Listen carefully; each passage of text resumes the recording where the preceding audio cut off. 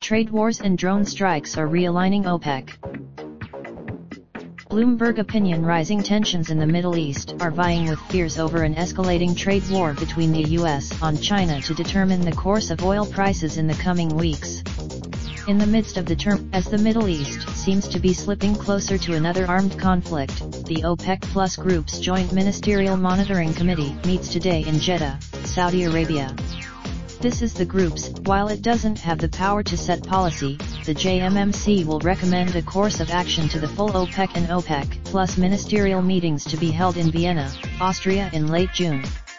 Co-chaired by Saudi, not surprisingly, Iran's oil minister is not making the trip to Jeddah. Saudi Arabia, the toughening of U.S. sanctions on Iran at the start of May is on the country's oil exports, while the failure of Juan Guaido's attempt to against President Nicolas Maduro means that Venezuela's oil production is likely to continue its seemingly inexorable slide. Involuntary up two of the three major oil forecasting groups you the U.S. Energy Information Administration and OPEC you already see global oil balances this year. Only the international with Brent crude in the comfort zone of $70.75 a barrel, countries like Russia will press for a relaxation of output restraint when the deal comes up for discussion in June. But with US inventory, Saudi Arabia has to boost its own production to offset losses from Iran and Venezuela, while still remaining below its agreed target level. That's because, and then there's Iran and Venezuela. Their oil production is in free fall and likely to drop further Ajo, at least in large part, to US sanctions.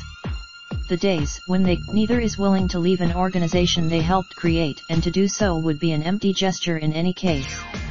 OPEC decisions, tonight's meeting will decide nothing, but it should provide some clues on how the various camps will line up for June's gathering.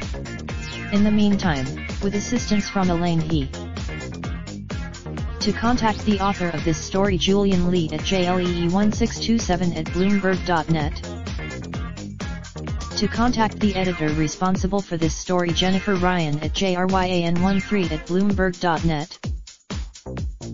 This column does not necessarily reflect the opinion of the editorial board or Bloomberg LP and its owners. Julian Lee is an oil strategist for Bloomberg. Previously, he, for more articles like this, please visit us at Copyright 2019 Bloomberg LP.